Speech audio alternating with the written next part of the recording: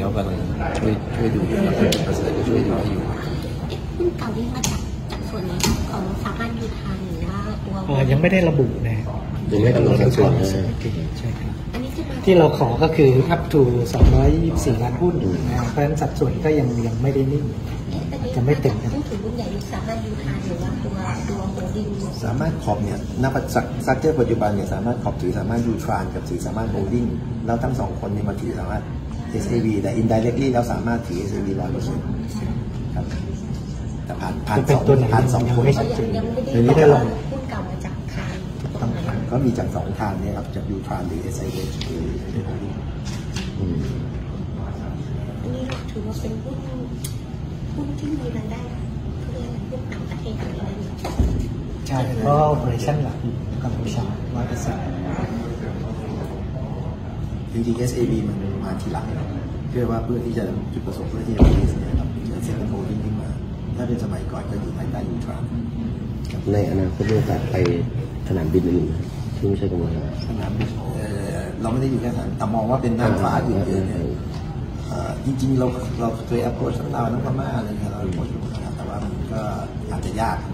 อาจจะค่อนข้างยากแต่ว่ามีโอกาสเหมือนกันในเชิงว่าอาจจะไม่ใช่ไม่ใช่ทำแบบฟูลแบบที่เราจำในคอมเมนต์นะ แต่อาจจะไปเอาซอสเซอร์วิสอะไรบางอย่างเนี่ยอันนี้มีความเป็นไปได้ เราก็เคยไปคุยไปคุยทั้งลาวทั้งพม่าอย่างพม่าเองเราก็ขายเราขายอุปกรณ์ให้เขาขายระบบเราสามารถเราเป็นตัวแทนของขายเลยเราขายระบบให้กับทางแอร์ไทยที่นี่ด้วยทำการบินแห่งประเทศไทย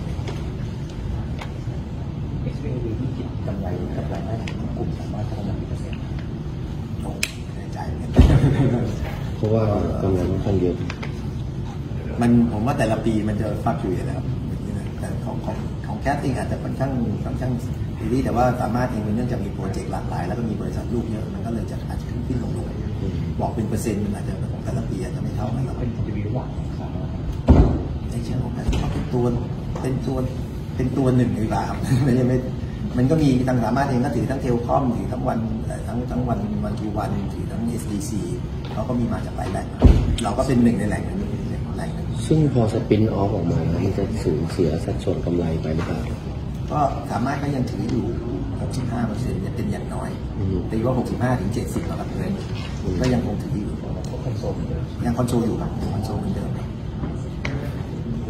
ส่วนของกำไรอาจจะหายไป30เปอร์เซ็นต์อะไรอย่างเงี้ย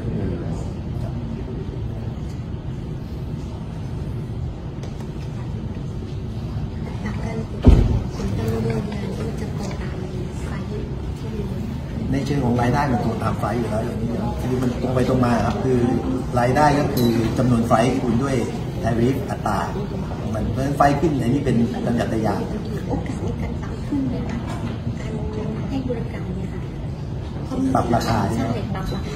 มันไม่มีสแตนดาร์ดอะไรชัดเจนนะครับแต่ที่ผ่านมาเนี่ยเราปรับไปสองครั้ง อันนี้เราจะปรับประกอบด้วยถึงขอบต่ำได้ มันไม่มีไม่มีเงื่อนไขว่าเมื่อไหร่ปรับได้อะไร คือที่ผ่านมาสิ่งที่เราทำคือเราเปรียบเทียบกับอ่าผู้ให้บริการอื่นๆในในในภูมิภาคครับแล้วถ้าเราเราดูว่าเรามีรูมที่พอจะปรับได้ไหมอะไรอย่างเงี้ยครับอันนี้ก็คือของอนุญาตของการบินหลักคนที่แอปพูฟจริงๆก็คือไฟนอลพูฟเลยคือ SSC นะครับจริงๆแล้ว อัตราพวกนี้เนี่ยคนที่จะเซตเนี่ยคือเป็นเป็นสิทธิ์ของแต่ละประเทศเลยเขาจะเซตเท่าไหร่ก็ได้